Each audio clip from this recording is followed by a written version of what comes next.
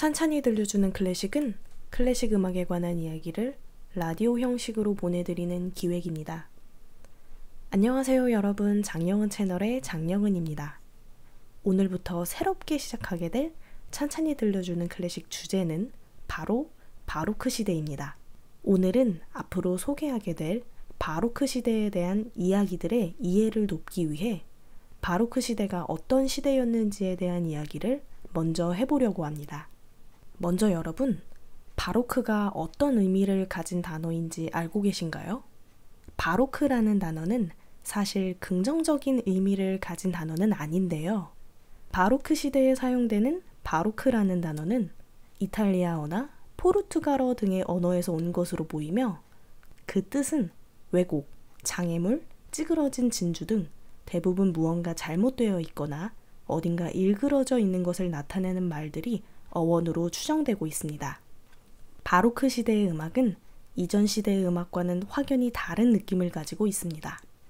가사의 느낌이나 뜻을 더 극적으로 전달하기 위해 의도적으로 불협화를 쓰거나 감정적으로 호소하는 느낌을 가지기도 하며 즉흥적인 장식음이 많이 사용되는 것 등이 이 시대 음악의 특징입니다.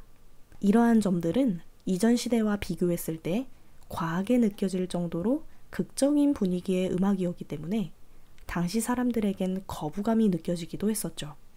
그렇기 때문에 긍정적인 단어가 사용된 것이 아닌 왜곡, 장애물, 찌그러진 진주 등의 뜻을 지닌 단어가 사용된 거랍니다.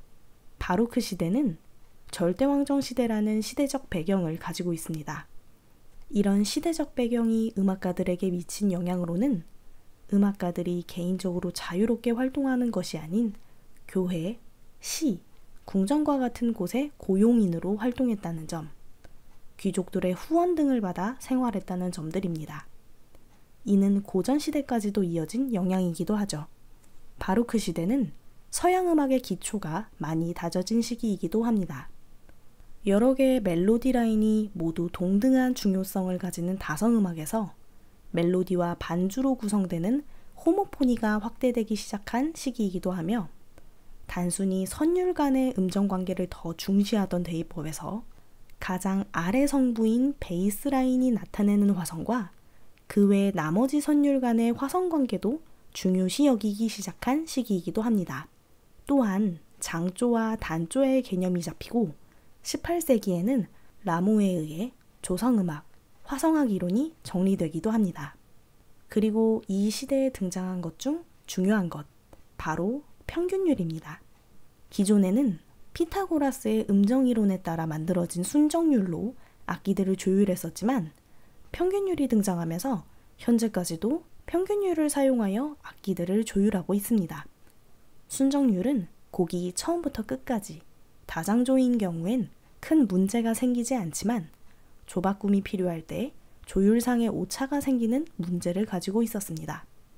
또 성악곡이나 현악기에서는 순정률을 사용해서 조율해도 큰 문제가 생기지 않았지만 건반악기나 관악기 등은 순정률로 조율하는데 문제가 있었고 이것은 작곡가들이 마음껏 조바꿈을 하는데 어려움을 주었죠.